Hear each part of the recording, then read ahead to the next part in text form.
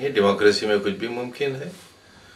और इस बारे में अगर कोई राय लेना है तो उलमा काउंसिल से लीजिए, बेहतर राय देंगे। इमाम बुखारी साहब से राय लें, वो ज़्यादा बेहतर राय देंगे। वैसी साहब से राय लें जो इलेक्शन लड़ा कर गए हैं तो अभी तक कोई राय नहीं आई उनकी। ये माशाल्लाह है हमारे, बरेली के हमारे सियासतदान लोग हैं, ये राय देंगे। योगी को बनाया है, और हिंदू धर्म में योगियों का सम्मान भी होता है। तो धार्मिक व्यक्ति के बारे में राय धार्मिक व्यक्ति ही दे तो ज़्यादा बेहतर।